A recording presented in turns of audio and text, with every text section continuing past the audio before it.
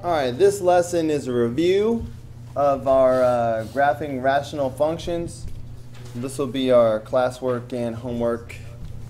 Um, and uh, I will post this on Edmodo. So let's see. The domain. What's the domain of this thing? What's the first part of it? Negative infinity to negative 3. Okay. All right. That's the this first branch. What about the middle part there? Negative 3 to positive 3. Yeah, negative 3 to positive 3. Asymptote to asymptote. All right, and this last branch down here at the bottom, what's that? Negative 3 to positive 3 to positive infinity. It's all x values. Okay, 3 to infinity. All right, any questions on the domain? Okay, now the range is the y value. So now we're looking bottom to top. All right, so both of these branches at the bottom occupy the same y values. So what's the range of these, uh, both of these? Negative negative 4. Correct. Negative infinity to negative 4. All right, to the asymptote there. So negative infinity to negative 4. We'll start off with that. Negative infinity to negative 4. Okay. Now, notice that then there's a gap here in the middle before we get to that upper branch. Okay, and I gave you this little point here to help you out so you wouldn't have to just be guessing. So what's the range of the upper branch? Um, 0.7 to uh, infinity. 0.7 to infinity. Go with the y value there. So 0.7 to infinity. Any questions on the range? Herbie. Um, so you don't like, what about the gap in between uh, point seven and negative four? Are there any y values in there that are covered? Oh, okay, Yeah, there are no y values in there, so we just don't mention them. Um, yeah, Bryce is pointing out to me that I made a mistake on the, uh, by putting a parentheses on the point seven. That should be a bracket. It's touching the point seven. It's not an asymptote or anything. So, yeah, bracket on the point seven. All right, any other questions? Okay. Um, now, increasing and decreasing intervals. Remember, these are strictly x values. Everything I, I'm about to do is an x value. So, um, I'm just going to go from left to right. So, from left to right, we're starting off with a decreasing interval. Because from left to right, this is going down, down, down, down. Okay? Now, I want x values, though. So, what is, oh, let, just give me a second. Okay, so this end over here, what's the x value of this area? Right, the x value of this end is negative infinity. Okay, what's the x value of this end over here? Negative three. Negative 3. Okay, this is approaching the asymptote over here. So you got to go by the asymptote, and the asymptote is at negative 3. So negative infinity to negative 3, that's my first decreasing interval. Okay, so I'll put this on decreasing. Negative infinity to negative 3. Okay? Just stop me if I confuse you. So now, then the function picks up right here, and it is another decreasing interval. Okay, so it's now it's the it's decreasing from here to right there. All right, so again, x values are what I want.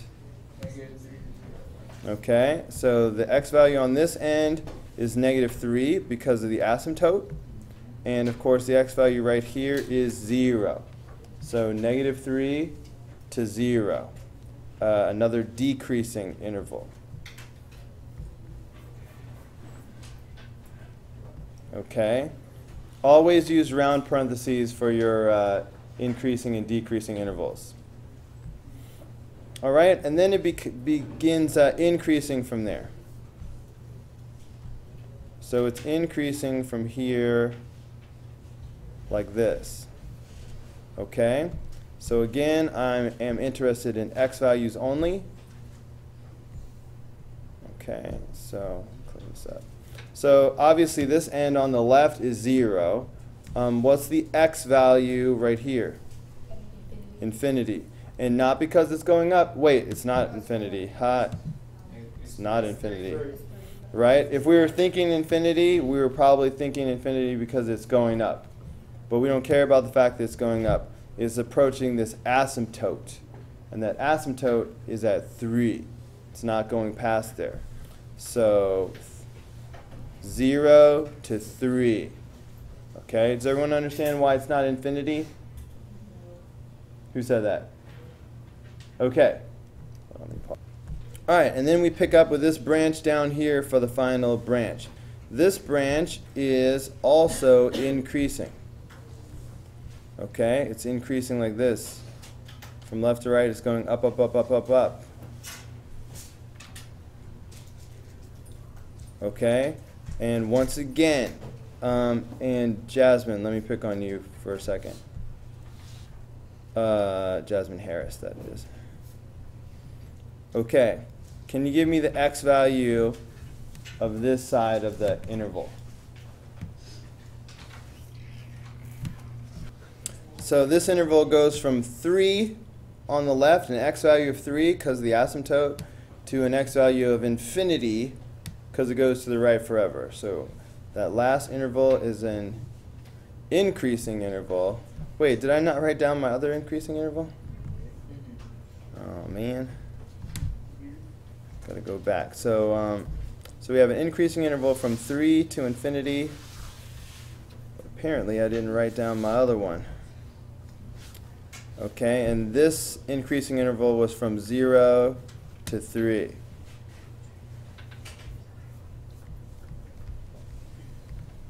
Okay, any questions so far? All right. Now we got the, okay, so now we're supposed to uh, say what's the x-intercept and the y-intercept. Um, but what do you think? What's the x-intercept?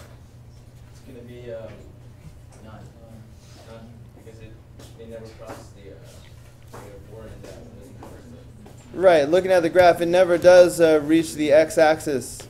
Okay, the upper branch doesn't touch the x-axis. The lower branches, they don't reach the x-axis. So there is no x-intercept. So we'll just put none. All right, is there a y-intercept? Yeah. All right, the y-intercept is right here. All right, 0, comma, 0.7. This dot right here is the y-intercept.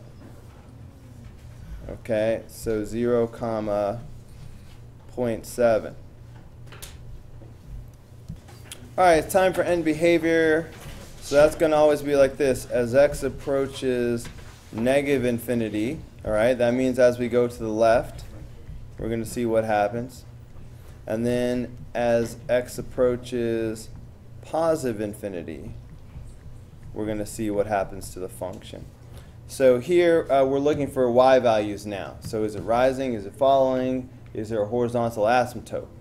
So first, uh, as we go to the left, well, as we go to the left, the graph is approaching this uh, asymptote. So what are we approaching? Negative 4. Negative 4. Okay, so on the left, we're approaching negative 4. Okay, a y value of negative 4. What about on the right?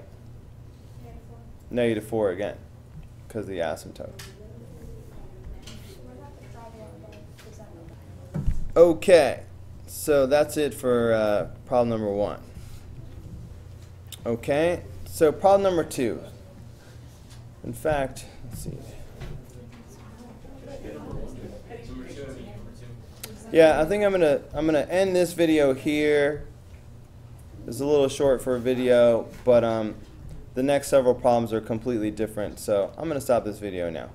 We'll pick up with number two on the next video.